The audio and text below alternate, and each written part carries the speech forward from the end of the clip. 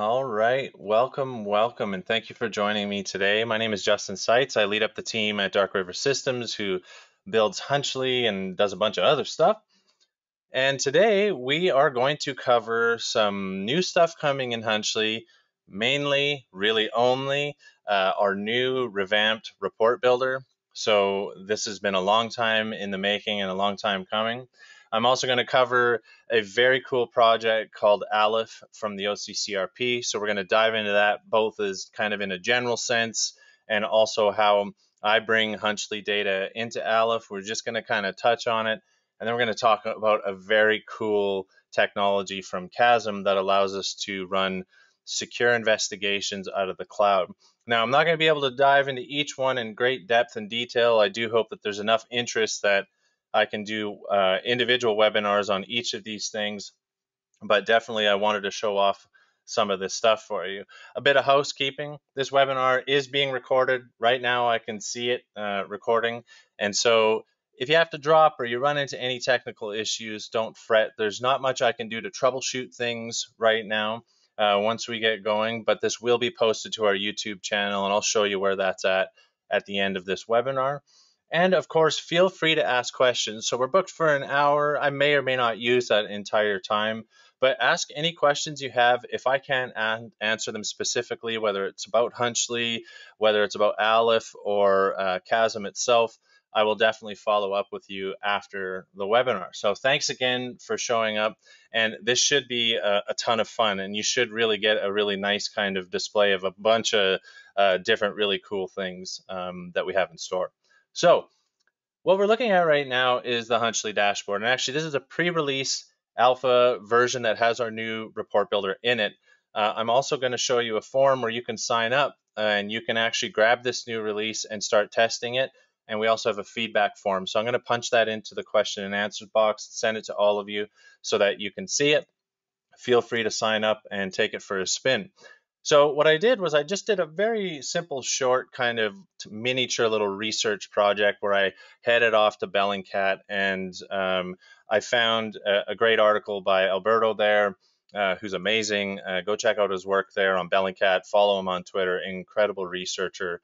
Uh, and I just kind of looked at Boko Haram for about 15, 20 minutes, collected a bit of data, um, you know, used some selectors, a tag, just to kind of uh, build it out a little bit and kind of left it at that. And really, the goal of this was to just kind of show how some of the things that we've been using in Hunchly for a long time, uh, like selectors and tags and you know notes and images, all of this stuff, even attachments, for a long time you weren't really able to use them in a reporting sense, right? Our report builder was currently the one that you have right now was not super flexible, was missing a lot of features, and was a bit clunky to use.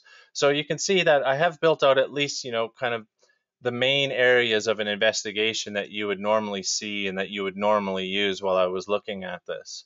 So this will actually be a fairly quick demo because the new report builder is really easy to use. And naturally, this is also, as I mentioned, an alpha pre-release version of it. So you'll encounter bugs just like I have, and we want those bugs and we want to make sure that it's implemented, the fixes are implemented before we release them. So if we open up the report builder, this looks significantly different than our old one, right? And the reason is is that it, this new kind of layout and this new way of building reports is much more flexible, much more user friendly. So when we first start out, and if this looks a bit foreign, the first thing that we can do, and what I obviously like to do, is I can create a title page. So before this was kind of automatically generated for you. So in this title page, I can put my name in as an author. I can put in an organization name here. I can just put Hunchly.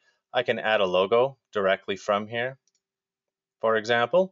So this is much more flexible. If I want to add some text, I can easily do that as well. And I can fold this up and get it out of the way once I'm done with it. So again, the UI and the UX is much, much friendlier, much easier to kind of manage larger, more complex reports. Now, I'm ready to actually start adding some case data. So I'm going to create a new section that's just Bellingcat research. So I'll just put that in first. Cool. And now that I'm able to add case data by clicking here, this will look a lot different. So we have a few different options here that allow you to drill down into your content that you've captured, pull in screenshots from page captures, and as we add more to it in subsequent releases, you're going to see more and more features and more ability to kind of pull more content into your reports. So if I wanted to just add some, you know, again, just the Bellingcat stuff into this section, I can simply just go in here and say, I want to add this screenshot. I can actually say as well if I have notes or captioned images. So in this case, this was a captioned image that Alberto had used uh, in his story of some satellite imagery. So I'm going to add this in and add them to the report. So now what we have is a much nicer layout and we can also kind of see based on the color coding kind of what we're using within the report. So we have a better idea of what's going on. If we need to move it around, shuffle things, that's a much easier thing to do as opposed to how it was before. And we can also move these sections around as I will show you later. Now, if I want to add some text to this, I can. So, you know, amazing research by Alberto as usual.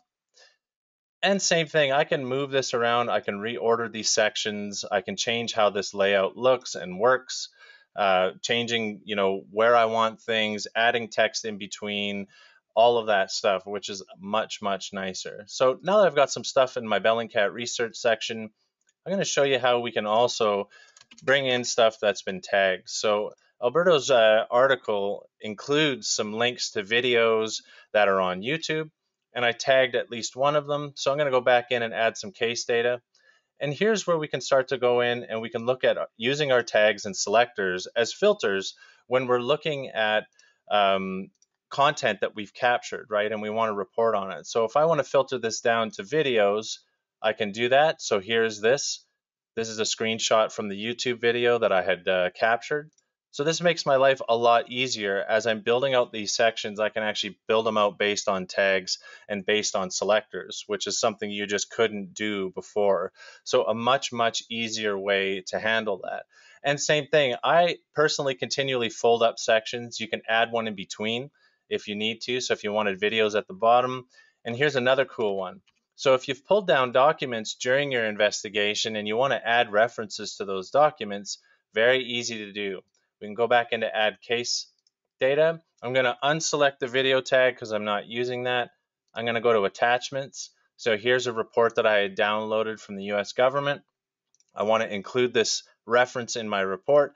Naturally, that attachment is part of my case data, and a full case export is going to export that attachment. But it's really useful because when we print out a report, we're going to have a reference now to that document itself, where it came from, and of course the reader of the report is going to be able to see where you got it from as well. And you don't have to do any kind of uh, funny monkeying around with screen screenshots or other things uh, to achieve that. All right, so again, we have a few sections built, much easier to build bigger reports, reports that include more content, more sections, uh, because it's not this giant kind of drag and drop thing. And again, you can actually pull these sections around. So if you decide to reorder your, your report, you can totally do that. Very simple. You can add more sections to the bottom, much easier to deal with. And our goal is naturally what we learned from all of you as users is that you wanted a reporting tool that might not do 100% of what Microsoft Word does, but you want to get it as close as possible for as many uh, cases as you can. And really, this is the foundational building blocks of being able to do this, kind of give you that flexibility, allow you to bring in more content into your cases, sort them, filter them, all of that fun stuff. So I can then export this report just like always. We can pick PDF or Word if we want. So I'll kick it out to PDF and we'll save it to my desktop. Much the same way, so in my pre-release build, there's still a, and I'm actually I think using an older one. There's still a few bugs kicking around, but we see some of the stuff that we've added here. We have some text paragraph that we wanted to include. Of course, I only wrote one line. The usual stuff that you would expect to see, so caption images and notes, all of that fun stuff. Here's our video section where I pulled in that YouTube video I had tagged. And this is, again, one of my favorite things because often pulling down documents uh, during your research is something that we all do. And being able to reference this here is great. This description field, of course, naturally comes from when we are uh, in our attachments, right here, right? So this is something I've kind of been saying lots in our webinars is make sure you're annotating the documents you download uh, so that, you know, when you export them or when you're looking at it later, you actually know what it is. But now it becomes even more important because it allows you to actually, those annotations get pulled into your reports when you are doing, uh, when you're actually building reports out and including attachments. So again, it's very simple to use, very uh, flexible. There's a lot of different ways that you can pull content in and out. Uh, we actually pull out extracted images as well. So you can do things like if you're looking for an image that was extracted by Hunchly automatically, you can start to use our filtering.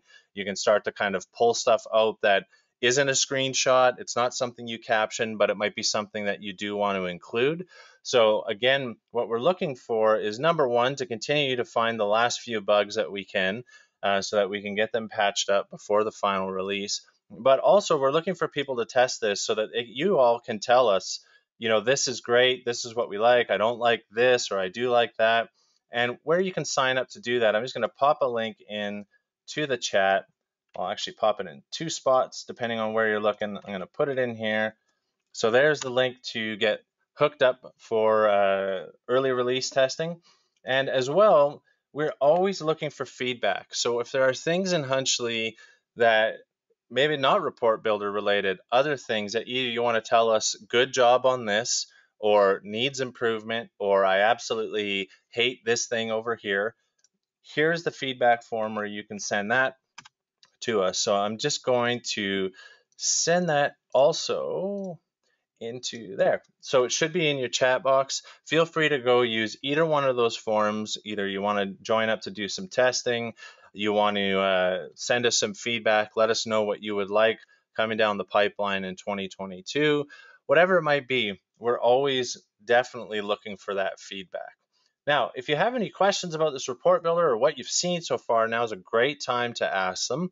And I'm just going to pop over the Q&A box and see where uh, what we have for questions. All right, so we do have a bit of a technical support question. Uh, so uh, made a screenshot of the Facebook comments, but in the report, the written stuff in the screenshot was too little to read. Is it possible to make it bigger in the report? So that's a great question. And definitely, uh, if you're running into specific issues like that, our support team wants to hear that. So I'm just also going to send you, here's where you can reach out to us. The other thing is, uh, I generally export to Word if I have to move or stretch or change things. If for some reason uh, something just doesn't fit right for me or that kind of thing. So again, depending on you know what you were seeing specifically in that capture or where the comments were too small to see, let me know. Uh, let our team know, and we can either give you some tips on how to work around it, or uh, give you some tips on how to how to try to prevent that or deal with it in the future. Um, definitely would be interested in seeing that uh, capture, as I know my team would as well. Awesome. So another question, is there a preview option before exporting? No, but definitely Phil will be here. If he's not here already, uh, I guarantee you uh, he's going to want to know that. He's going to want to hear that. So if previewing a report before exporting is something that uh, folks would like to be able to do, we want to make sure that we're addressing that. And again, that's a great thing to punch into our Hunchly feedback or when you're doing the report builder stuff, if you feel like testing, uh, definitely let us know some of those things. Uh, currently, it's what you see. Uh, I've shown you so far is our intended first release, uh, sans a few of the uh, a few of the little bugs. All right, great. I have another person saying, yeah, preview would be very good. So that's awesome again, Phil will be picking up some of this feedback, and uh, and we'll definitely be talking about it in house. Great. Was there any other questions that I can answer in general, report builder, or other things um, that I can uh, that I can help to answer? All right, can attached documents to the report builder be hashed? So the documents themselves are always hashed. So you always get a hash of these documents, and that hash shows up in the report as well these are these files are not uh, embedded inside of the report, right? So we we're not able to like embed a, a Word document or anything inside the report, uh, but definitely we can add the hash in here to make sure that that's included in the report because the hash is calculated here. So that's definitely something that I can uh, that I can pull forward to my team to include that document hash uh, in the report. Awesome. Thanks, Jim, and great to see you today as well. The release is ready to download now, I believe actually. So uh, someone had just asked, when is the pre-release ready to download? Uh, I believe it is ready to download now. So if you fill out that Hunchly Report Builder form, uh, you can definitely sign up, and I believe you'll be able to get access to it right away. All right. Any other questions I can address before moving on? Doesn't look like it. All right. Cool. All right. So now let's talk about Aleph. So if you've never been to aleph.occrp.org, I suggest that you do so. Aleph is amazing. So they host a, a public instance of it. Uh, they have, as you can see, uh, 336 million public entities, a bunch of data sets, all kinds of stuff. So if you wanted to type in like Vladimir Putin into Aleph, uh, and again, some sources are hidden if you don't have an account with them.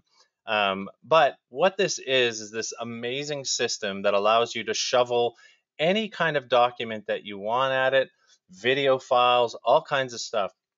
And what it will do is actually ingest, process, do entity extraction, pull out email addresses, phone numbers, names. It will OCR images for you. It does some lightweight metadata extraction on images as well. And it's amazing because their public instance, of course, is where they're storing a ton of different things. So you see by expanding this data set column here, we can see that they have all kinds of stuff. So if you're interested in a particular person or a business or anything like that, you can just kind of drive down into these data sets and see where they might be turning up. Now, the other cool thing is that this is a fully open source project. Okay, so this means that you can deploy your own Aleph instance and start to work with it in your own investigations, whether you're in law enforcement, whether you're journalists. This thing is amazing, and I have been using it for, I guess, about four years. I worked with some journalists about four or five years ago uh, on a project, a collaborative project, and we used Aleph extensively. I have a private instance that I use uh, in house, and as you'll see today, I also deployed one to a cloud. So this is uh, this is deployed on DigitalOcean. It's just a, a very simple instance that I set up. Uh, it does not take very long to get Aleph running. It's all in Docker containers. Uh, so again, if you're ever interested in me covering like here's how to set it up and get going with it, definitely something we can do. Now you'll see that I have zero public entities, public data sets or anything else. You can hear my uh, my burner phone going off there because I got to use that shortly too. Um, so the cool thing is is that this is all kind of locked down. You can actually add things like Google Authenticator and there's other methods for authenticating to it. In this case, I'm just going to sign into it. I'm going to show you some cool stuff.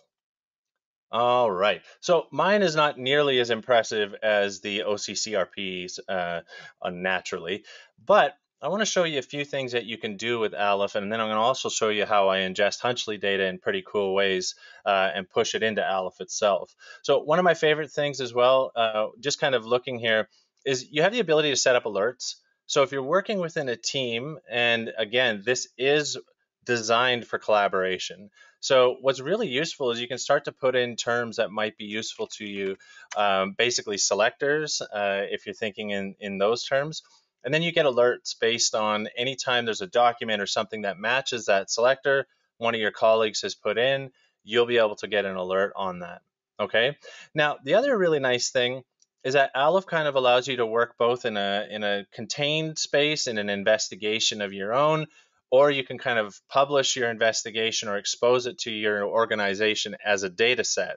So I'm going to show you both of these things and show you some of the tools, and I'm going to also show you how I took that Boko Haram uh, research and pushed it into Aleph so we can explore it a bit. So I'm going to create a new investigation, and we'll just call this, oddly enough, the one thing that caught me my eye the other day was the Truth Social app. So this is like uh, Donald J. Trump's new social media platform. All right. Now, this languages field is pretty uh, interesting because it's used for when um, it scans images for text. So if you know there's particular dialects that are used, like for example, you know you're going to be dealing with Russian. Whoops, I clicked away from it. Sorry. Uh, we're going to be dealing with Russian. We might be dealing with, uh, you know, I don't know, other languages you can think of, Arabic, right? So what this does is help to guide the the optical character recognition. And then you can also choose who to share this with. So if you're in an organization where there's many journalists, many investigators, you can be selective. So in this case, I'm just going to share it with Phil so that only Phil and I can see this investigation and work on it, collaborate together on it. All right, and hit save. Cool. So now you're kind of got this investigation. What can you do with it? Well, one of my favorite things is that you can actually sketch a network diagram to kind of kick your investigation off, to start out building up some entities. So I'm going to create a new diagram, and I'm just going to call this a Truth Social App Network. All right. And I'm just going to say drawing out the network. Cool. So now I get this very cool drawing interface. All right, so for those of you who use Maltego or i2 or other uh, kind of network visualization tools, very similar thing. However, the very nice thing is that this will actually start to seed my investigation with entities of interest. I'll show you how this works. So I'm going to add an entity, a person. So I'm going to say Donald Trump. Cool. So now I have Donald Trump on my network graph. Okay. And I'll add another entity that we'll call a company, and I believe it is the Trump Media and Technology Group. Cool. So now I have a company, right? And I can also link these two together. So unless I've been missing something for a while, I believe you have to use this kind of manual link generation. You don't draw it like in Maltego. So I have the sources Donald Trump. I pick the Trump Media and Technology Group and then I tell it that it is a directorship, which I believe it is. All right, cool. So now we have this little diagram that shows that. And then recently, again, as I'm doing research, I learned that Devin Nunes, I probably pronounced his name wrong, has also joined the company. So I'm going to link Devin to the Trump Media and Technology Group as an employment link. Very nice. And I can continue to build this out if I want to add that the fact that he's connected to the U.S. Congress. I can say public public body. There we go. Very nice. So again, and I can continue to build this out. Now what's happening in the background is as I'm drawing this diagram out and kind of mapping out my investigation, it's creating entities that can be kind of mapped to, searched for, and uh, we can use later in our investigations. Now again, uh, I am not going to be able to do all of Aleph justice today for sure. The OCCRP has some amazing videos on it as well, uh, but I do want to show you some of these things. So if we go back to our investigation, we can see now that we have people, companies, directorships, employments, public bodies. All of this is super useful. But really what we need to do is start uploading documents. Now, this can be anything from a source has provided you with a big folder of documents and you just want to shovel it up, spreadsheets, whatever it might be, you can upload it here and Aleph will ingest it. So I'm just going to grab a PDF and I can send this up to Aleph. Now my instance is a little underpowered at DigitalOcean, so it's not uh, uncommon for me to completely break it. And we can see this little spinning wheel and you won't see these documents appear right away because there's a number of processes that happen in the background. And the cool thing is, is you can always get a high level overview of what's going on in the system here, right? So we can see there's a job pending. It's doing its thing on that document. Eh, this is really nice because it'll just do this in the background. I can keep shoveling stuff at it. Uh, I can annotate the, the entities. I can kind of click around. And for example, if you want to as you learn more things about your uh, the people who are in this particular investigation, you can start uh, adding nationalities, for example. So United States, right? You can kind of mark them out. Same thing when you're doing whether it's cyber research, whether it is like due diligence work. This is really nice because you can really build out this kind of full investigation. And if you're in a team, people can be kind of marking up this data as they're working and as they're finding things.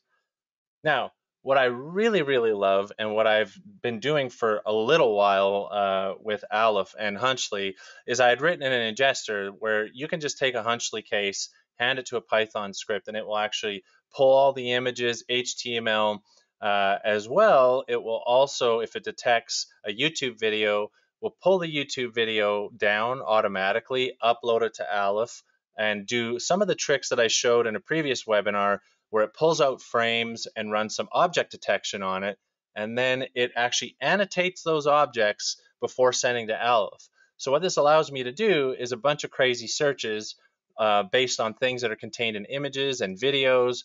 Uh, as well, you get the benefit of OCR, where it is actually reading text out of video frames, and I can search for that text. So here's what it looks like. I'm going to switch to the datasets view. So I started out with a Boko Haram investigation and then I converted it to a data set. So very simple to do. And when you have a data set, it's really nice because you get this overview of everything you have, right? So it's going to tell you the webinar, or sorry, the webinar, the names uh, that are extracted, so this is using some NLP. There's Alberto Fidarelli from Bellingcat. Now, of course, NLP is not perfect, so you can actually get some weirdness, definitely, but for the most part, uh, it works incredibly well.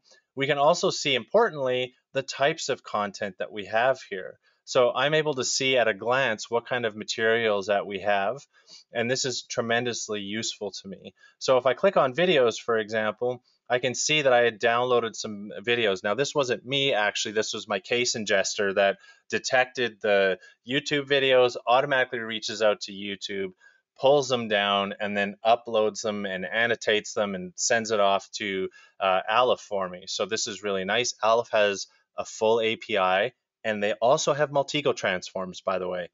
So, if I wanted to review these video files, let's say Phil had downloaded, I can do that right from within here right? So I'm able to actually look at this video and view it right from within Aleph. This is hosted right on the instance. I also, because I've written this ingester, it points me right to the YouTube link. It tells me who created it, when it was created, all of this stuff. They do their own checksumming as well. So all very useful stuff. Now, for example, we see a name here, Angele or Angel. So I can actually, if I want to, I can search for that name right here. Now, this is an extremely powerful search interface. So I can say Angel, very nice, right? So right here, what this is telling me is that this was isolated from a frame, and I actually have a small bug in my script that doesn't take the first frame from a video, as you can see. But what this was was a video frame at 2280. Uh, I guess those are in microseconds um, or milliseconds, sorry. At that point in the video, we see that this name appeared here, right? So depending on the tweaking you do in how you extract the video frames, and again, we can cover that all in a future video. I just used my old script and modified it. This is really useful because now I'm actually text searching through videos, right? And normally that either requires a lot of manual work watching the whole video or some like insanely expensive video analysis platform to do it and this is all free and open source with a little bit of Python. So this is extremely useful. It also allows me to then go see um, what was like what video this came from. And these keywords I've actually populated from Imagga. So I've isolated this uh, video frame, sent it off to Imagga, and what it's done is kind of categorize whatever it could find in that frame, which allows me to keyword search through any of these video frames that were isolated. Very, very neat, very useful, and all it was was Python and a Hunchly case export. The other thing that I noted was that for harm reduction, particularly uh, journalists, human rights uh, researchers, and others, uh, Imagga actually picks up dead bodies. So what I found was that you could actually search for cadaver, and then you know that those images right there have bodies in them. So I'm not going to open them, uh, but it's one of those things that kind of dawned on me that I'm like, there's probably a million different uses that you can kind of use this for, right? It's incredibly useful to be able to think about these terms and think about like, are there ways that we can reduce harm while we're doing some of this work? This is definitely one of them, and it was totally by accident that I stumbled upon it.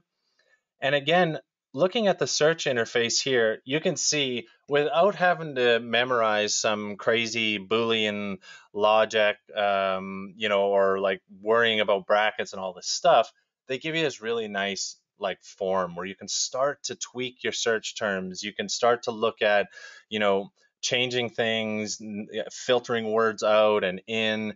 Uh, very, very powerful. I mean, the team uh, over at OCCRP are just, they really did an amazing job of this thing. They really thought about how people do investigative work and they nailed it. It's really, really impressive. Another cool thing is that you can begin to isolate. Uh, so, for example, I'll just do a search for Boko Haram. And what you can do is actually start to isolate by entity types, right? So I just want images or I just want videos, for example, or web pages. And then you can start to dig into these things like looking at uh, web pages. You can expand this.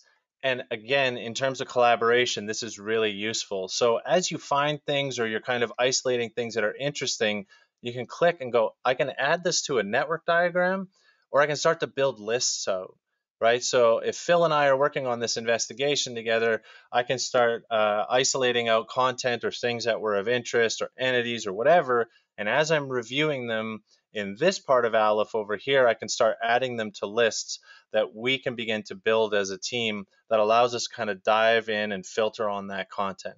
So again, Aleph is incredibly powerful and flexible. There's a million different ways that you can kind of use it, and that's really where its utility comes from. Uh, but for me personally, I really saw this kind of like the clouds part uh, a while ago um, where I was like, I, I, totally need to write a Hunchly ingester for this thing. So this was done, oh, probably a year or more ago. Um, and then I started thinking about, well, how can I get video in? And then I started thinking about, well, actually, there's a lot that I can do with video, video frames, and OCR. Uh, and very quickly, I was like, this is uh, definitely a match made in heaven between Hunchly and Aleph itself. So again, I'm not going to be able to dive into every single thing here. I would love to pull one of the team members from the OCCRP on sometime where we can talk about some of this more in depth. Or if you ever wanted uh, me to do a demonstration of setting Aleph up from scratch, uh, that is actually uh, I had to rebuild this environment a couple of times uh, this week, and it's really I, it, it's so fast and easy. It's a simple thing uh, to do, only a handful of steps uh, to get it deployed onto a, onto a Linux server. Um, and like I said, I run my own private instance as well uh, on uh, on a little Intel fanless, um, you know, one of those little tiny fanless Intel units, a, a NUC, and uh, it works amazingly well. And I have hundreds of thousands of documents, pages, and images stored in it. So I'm going to take a look now at our Q&A box because I see quite a few uh, questions coming in.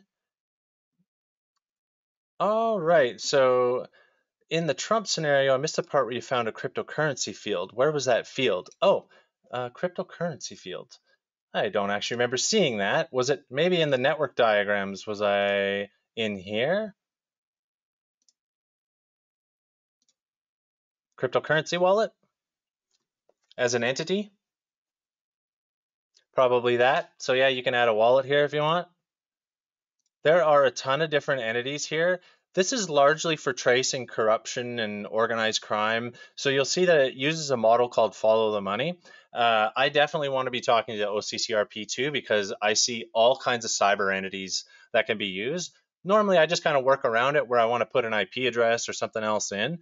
Um, but again, I think there's just so much you can do with this platform.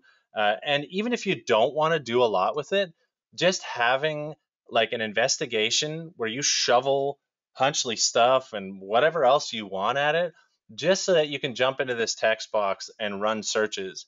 Incredibly useful, incredibly useful. So, definitely one of those things where you don't even need to, it's one of those tools where you don't need to leverage every single feature to get the most out of it. Uh, really, that text box at the top, it does so much, so much. All right, cool. All right. Mm, all right. Cool. So a question about how Aleph is, is it private? So if you do OSINT about extremists, uh, even this fact can be classified, of course. Um, other may find it useful that I'm interested in person X from a different uh, location, that kind of thing. So again, you can control who on your team gets to see the data. So in this case, this investigation here, this Truth Social app, only myself and Phil can see it. That's it. Uh, and so if you don't expose it as a data set, right, as a public data set it, within your entire Aleph instance, uh, then no one else will see it but you. Okay, so the idea is is that uh, when journalists are working in this type of environment, while it's not technically classified, they have to protect information sources. They can only selectively share things with other uh, journalists. There might also be legal ramifications. So they designed it in this way that you can do this. And again, uh, the public instance of Aleph enforces multi factor authentication. So, much the same way, you can really lock this down. Now, uh, if you are working within a law enforcement environment, you can also, because it is so easy, if you have an operation, say that you're about to, you know, um, look at a cybercrime group, uh, you can also just simply stand up an Aleph instance just for that operation that's only accessible to those users uh, within that network, right? So you can leverage some of the internal security controls at your organization so that only people uh, within that group or those the, that are allowed to see it can gain access to it. And then within Aleph, you can control even more finer grained. For example, uh, while you're doing your work, each of you may have your own investigation that only you can access, and then you can selectively allow others to see it uh, or change uh, change who can access it. So, really depending on the types of work you do, your internal network security, and also kind of your organizational security, uh, Aleph is really just something that you can deploy uh, and you can make it fit within those models. Okay. Now, again, the OCCRP folks uh, will have a much better understanding of some of the internal intrinsics of how some of that works. Uh, but definitely their public instance that they run, uh, they do uh, enforce a lot of that, uh, a lot of that security. All right, cool. All right, all right. Cool, cool, cool. Yes, I definitely would love to bring the OCCPR, uh, OCCRP folks in for a, for a webinar. You bet. Is this encrypted in some way? That is a great question. I don't believe that there's any uh, disk level encryption on it, but again, like any specific uh, encryption on it. Uh, however, like where the bulk of the data is stored is in Elasticsearch, and you can configure it to store it in a different so, for example, if you have like an encrypted uh, Elasticsearch instance somewhere, or you have like uh, encryption on the fly, or a bunch of other things, uh, definitely you can configure it to shoot data at another instance. Again, the big thing is is that doing encryption on this many documents and that much data on the fly back and forth, uh, both in a read write way, is going to incur a ton of cost, like uh, CPU cost. Uh, but most of the time, people, when they worry about encryption, they're actually worried about disk level encryption, which is again controlled by kind of the the big iron that you deploy it on or on the infrastructure you deploy it on. Uh, if there are OCCRP folks on this webinar, feel free to let me know if you know of people who are running uh, encrypted instances or that type of thing. And again, this is all in Docker containers, uh, and I am a Docker noob. So uh, I know like Docker Compose up, Docker Compose down. Uh, so there's probably a ton of things that you can do uh, when you're deploying this in a Docker environment that can help you with that. All right. I know I'm seeing lots of people saying, I really like this. And I'm like, yeah, yeah, I love Aleph. I've been like trumpeting around, uh, screaming about Aleph for a while. Uh, I really, really, it is just so cool, so cool, and it handles uh, like their instance that they run. It's massive, like it's it's hundreds of millions of documents. It's really massive. Uh, mine is much smaller at, at uh, hundreds of thousands, but it just works, right? Uh, if you run it on underpowered infrastructure, though, uh, you will like run into issues because it does need a bit of horsepower to run. But even this instance you're looking at right now, it's on DigitalOcean. It's a hundred bucks a month, okay, for a fairly beefy instance. So for a, an organization or a team of 5, 10, 20 people, that's not a huge cost. For uh, a law enforcement agency or that type of thing, you probably have big iron in house or virtualized environments that you could deploy this in uh, that would allow you to, to run it for effectively whatever the cost of that infrastructure is. Cool. And yes, it looks like I've had a few requests already of like how to get going from scratch with Aleph, and I can definitely uh, I can definitely do that. Awesome. Very cool. Very cool. Awesome. I'm great. Glad. I'm, I'm glad you liked it. And again, I really didn't do it enough justice. It's got so much to it. Check out uh, the OCCRP has done stuff on YouTube as well. All right. So that's Aleph. So it's amazing, uh, super cool, and definitely uh, I will also at some point open source the Hunchly case ingester that does all the fancy YouTube extraction and all of that. Uh, the code is an absolute mess because I had to just kind of sandwich old and new uh, to make it work. Um, but definitely, if we do another Aleph uh, run, I will talk to you about how to use that script, and uh, I will open source it so that you can download it and test it yourself. All right, so I'm going to just take a quick sip of water.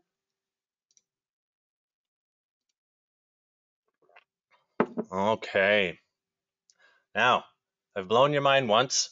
Now it's time to blow your mind again. This is Kasm. So what we're looking at is my own Hunchly um, research platform within Kasm.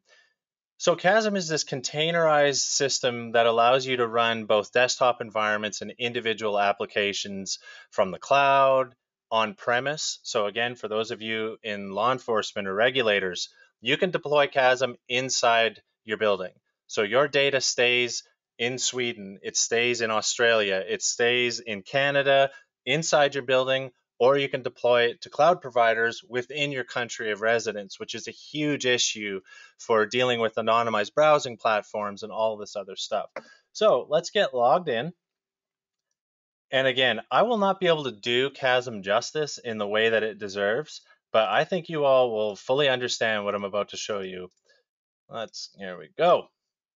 Cool. So this is your Kasm dashboard. Now, there is a ton of stuff Kasm has thought of, including web filtering, all different kinds of authentication that you can use to kind of make sure that you actually can control how people authenticate to Kasm. There's just a ton of stuff here that they've thought of. I'm going to focus on the workspaces. So workspaces in Kasm are anything from apps to full-blown desktops. All right. Now this is going to look crazy, but remember I'm in my browser here. And the Kasm folks, who are also awesome, also led by a Justin, oddly enough, uh, there might be a pattern there. Boom, I'm going to jump into my Hunchly desktop. All right. Voila. That's all it takes for boot up time. That's it. Full blown desktop. Like, what was that? Two and a half seconds? That's it. All right. So now this down here is my my actual my virtual machine. So let me get rid of some of this because this will confuse you very quickly. All right, I'm in my browser right now. See that? Okay, watch this. So let's fire up Hunchly. I think Hunchly started faster than it does on my Mac some days. Okay, so there's the dashboard. And I am inside a secure container inside of the Kasm cloud right now. All right, so what I'm going to do is the usual stuff with Hunchly. Fire up Google Chrome. Look at how snappy this is, right? I'm just going to say latest OSINT. Well, I should actually turn automatic capture on, really. There's Hunchly. Turn automatic capture on. Latest OSINT news. All right, so Hunchly's capturing away, doing its thing, right? Just like always. And I always forget that the Ubuntu bar is up here. See that? Just like normal. And I'm in my browser right now, right? I'll switch over to Aleph just so you see that. This is no like no trick there. This is literally how cool Kasm is, is this is all through my browser, right? And it is all running in a secure container. Okay, so I can do all of my regular investigative work within that VM. Oh, see, I get confused, right? I can browse around, do my thing, if I get popped, someone hacks me, is right inside of this container. Now, the other thing that I can do is, for example, while I'm doing my work, maybe I got to jump into a Telegram chat or maybe I got to go somewhere that's a little darker and nastier. So what I can do is I can switch back to my workspaces view, right? And we're going to fire up Kali Linux too. And I can just pop open Telegram in its own session. So let me grab my little burner phone here. Mm-hmm. All right. Now I'm going to go start messaging.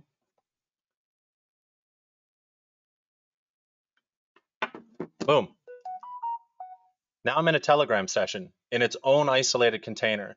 So if, for example, something happens to me in this Telegram instance, it, they're not going to hit my investigative data in my Hunchly desktop, right? They're not going to be able to see that. And this is a conversation I've had for years with researchers is that like, what happens if my VM where I'm doing my investigative work gets popped? It's like, well, they're going to be able to see your investigation data. They're going to be able to see everything.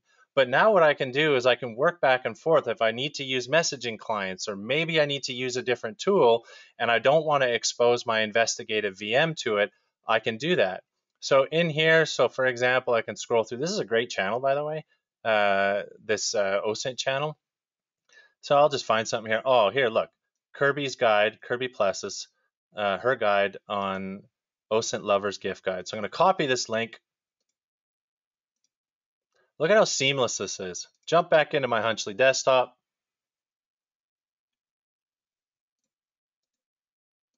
Boom.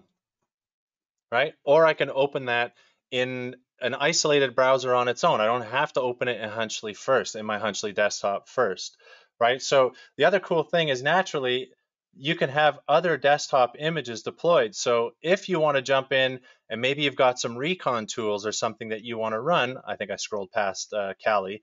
There's Kali.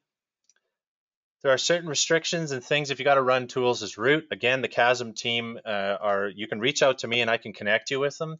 Boom, there's my Kali desktop. I can jump in. I can start running like OSINT tools. I can fire up Maltego if I want from within this container right? I can do a bunch of stuff here.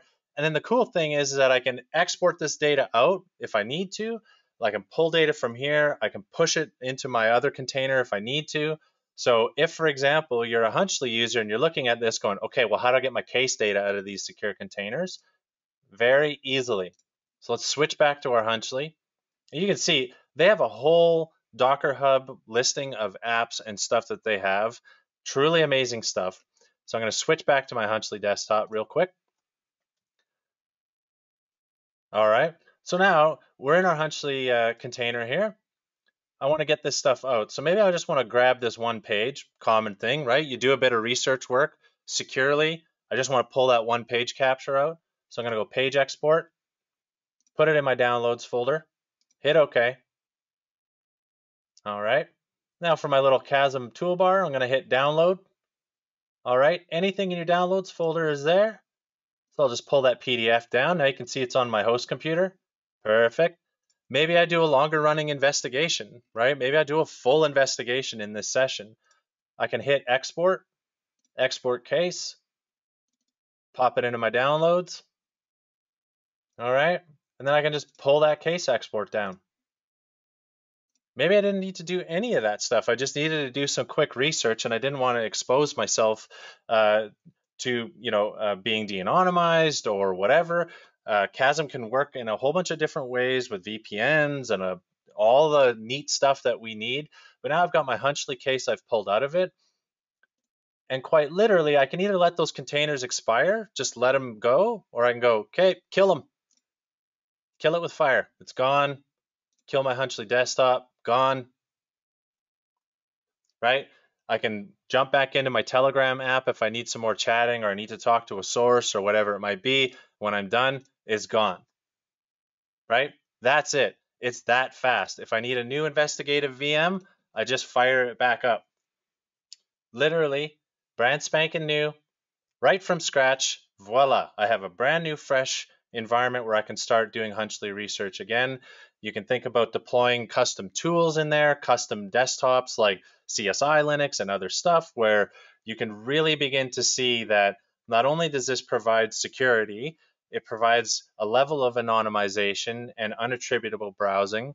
It also gives you the ability to isolate which is a major problem for us where uh, you know just thinking about that isolation between telegram what i'm doing maybe with a source or looking at you know extremist content or other stuff or uh, doing something specifically in a tor browser that isolation between those activities is extremely important. And really the crucial thing if you're on this call right now or this webinar and you're in law enforcement this can all stay in house right? And it can all stay in country which is a huge problem because a lot of solutions are either roll your own iron or run a bunch of virtual machines in house or you have to like go through the a bunch of hoops to try to figure out if you can even use a provider because you don't know where the data is being hosted right? So they give you this ability both to run on infrastructure that's deployed out in the cloud infrastructure in house uh, and they can do anything from managing that infrastructure for you to having you do it on premise it's truly one of the most amazing things ever uh, that i've seen in, in the OSINT space uh, it's just incredible and it fits perfectly with what we need to do as investigators. And of course, match made in heaven for Hunchley. It is like the perfect spot to do this type of work. So please, if this interests you in any way, reach out to me, justin at hunch.ly. I'll throw my email in. Uh, I'm happy to connect you to the Kasm team. Feel free to go to their website too. So uh, I'm just going to close this tab. Uh, it's just Kasm Web. Yeah, I'm going to leave. There's our YouTube channel. I'll just show you kasmweb.com. Very, very cool stuff. And they are all, the, the team there are brilliant. Brilliant. Come from kind of the same background as me in the cyber hacking space. They get it. Uh, so this is great stuff. Definitely feel free to check that out or reach out to me. And we're actually getting very close to the top of the hour, and I have talked, it feels like, nonstop. Uh, all right, let me uh, let me answer some questions, and I'm going to just review some of the Hunchly resources we have out there. If you're not aware of them, is it possible to export a Hunchly report from the Kasm instance to our host? Absolutely, you can totally do that. So you can just export the PDF to your downloads folder, download it like I showed you from Kasm. Now you got the report on your local machine, and you can blow away that container if you need to. You bet. All right, exactly what we need is what I heard from one person. Uh, the costs are something that I can't answer, so it's definitely worth talking, uh, and I can connect you with their team there to talk about costs for Kasm. It depends on your deployment, depends on how you use it. Awesome. Yeah, so uh, is it uh, someone had also mentioned like um, bringing in images like the Trace Labs uh, images? Uh, I mean, again, I think that that's probably something they can do. I can tell you that when I showed them Hunchly, uh, literally they blew my mind. They very quickly had a Hunchly environment for me. They're like, "Yeah, man, this works great with our prop, our platform." I'm like, "Oh my god." so it was incredible. So uh, if you have suggestions or other things, definitely uh, let me know. I can connect you with their team for sure. Uh, can I bring the Kasm team in for a webinar? I'm sure I can. They are very, very nice people. Uh, so I will definitely reach out to them. And naturally, uh, I actually don't know if I even warned them that I was going to do this uh, do this webinar. Um, so uh, it was kind of one of those things where I'm like, uh, I've been so excited. I've been talking to tons of people about this, uh, mainly because I see so many applications for Hunchly and Kasm to work together. Um, so definitely, I will I will connect with them and say, hey, do you want to jump on one of these webinars? And you can do this some proper justice. Um, but really, you can see how easy it is too, right? Like just click a button, and like in two seconds, you have this desktop environment that just pops open, and away you go, right? Just blew my mind. So uh, very very cool stuff. Very useful for cyber, for law enforcement, like there's not a use case I can't think of that can't be enhanced by using it, definitely. Oh, the Kasm team's here. yes, our Kasm team will do a joint webinar. Awesome. Thanks, Kevin. you did know. awesome. That's great. What a surprise. Well, thank you for joining, Kevin. That's uh, that's awesome. That's awesome. Cool. So the Kasm team's here. Some of them anyway. They've been lurking. Uh, that's great. Uh, can you please share a link to the demo? Uh, do you mean the demo like my webinar today, or do you want a link to the the Kasm demo, uh, Jim? Awesome. Cool. You're welcome. I'm getting lots of great uh, recording link of this demo. Great. Yes, definitely, and I will definitely connect you to uh, connect you to their team as well when you're ready. Perfect. Okay. Any other questions, feedback, anything before I just wrap up with some Hunchly resources?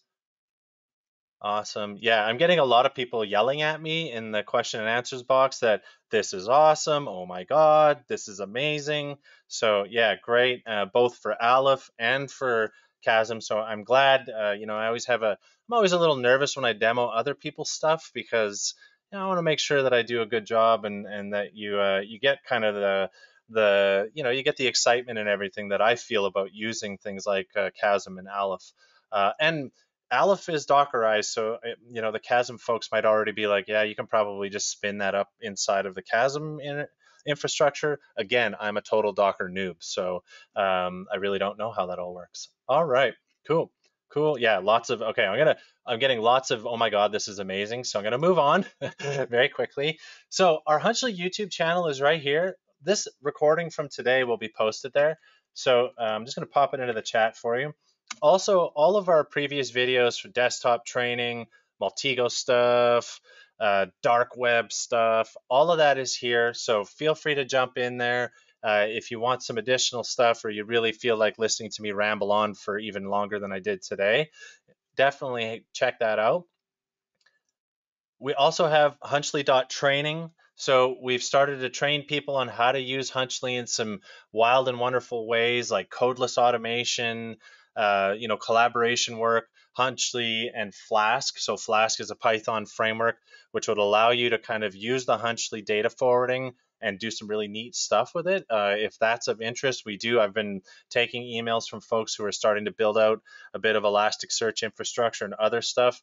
Naturally, you can actually use Hunchly, Flask, and Aleph uh, in a in an automated way, so you can have like real time browsing stuff and images and videos being sent to Aleph in real time. So Phil did an amazing job there. Uh, very cool stuff. Hunchly.training.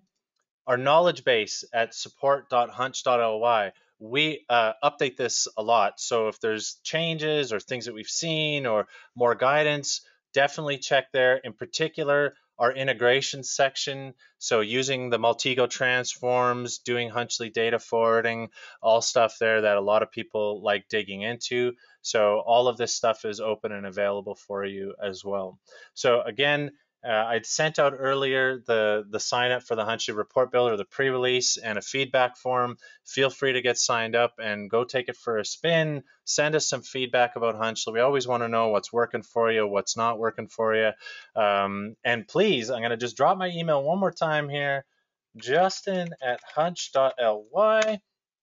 Send me an email. You got questions about Aleph, Kasm, whatever it is, uh, I always want to hear from you. So feel free to flood my inbox, and uh, I will do some uh, connecting or quarterbacking or connect you with people on my team or other teams, whatever I can do to help.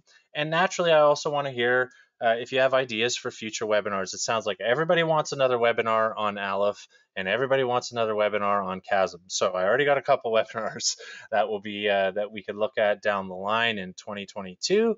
And thank you again for hanging out with me for an hour. I know this was like a wild tour of some very cool stuff. Our report builder, which is amazing, and all this other thing, uh, these other tech, like it's just yeah, amazing stuff. So not always easy to cover, but you all hung in there, which is great. And I am, unless I see some questions coming in, which I don't, it looks like y'all are ready to jump off, and so am I. So thank you so much again. I hope to see you on the next one, and I'm going to uh, start working on getting this recording online for folks. All right. Thank you so much. Have a good one. Bye bye.